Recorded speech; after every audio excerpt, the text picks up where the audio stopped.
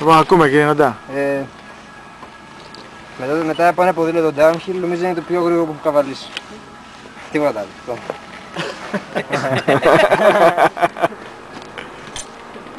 Να σου πω με το άλμα. Δεν Αυτό. σου φαίνεται λίγο πιο σκληρό. Αυτό το άλμα. Πιο γρήγορα. Όχι, σαν να απορρόφηση πίσω. Έχει τη χαρά του. Δεν είναι το ξερό πίσω. Για άλλο, μην φεύγεις, εδώ πέρα. Για πες μας, γιατί... Ε, Βγάλε την ψυχή σου, πες μας. Τι ένιωσες; Τίποτα, τα κάνει όλα. Δε. Στην άλλη φορά, τι είπα πριν για το 29 δεν πάνε, ε, μάλλον θα το ξαναπάρω πίσω αυτό.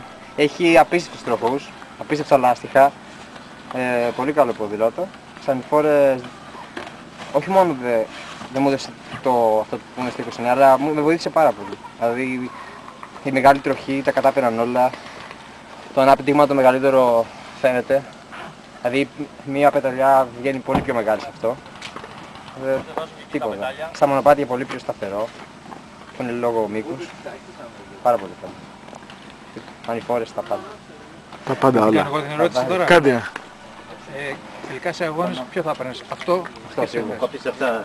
Γιατί λέγαμε τώρα που θα γυρίσεις. Κοίτα, σε ένα καθαρά χαρτί, ε, σε ένα καθαρά cross country αγώνα, σίγουρα θα έπαιρνα αυτό, ναι. Στο Πανελλήνιο, στη Μάνδρα, Σίγουρα αυτό. παρόλο που είναι 29 ή γι' αυτό. Μα, όχι, είχε απίστευτο πλέον εκτίματα. Δεν, δεν υπάρχει λόγος δηλαδή να πάει στο 26. Γυρίστε όλοι.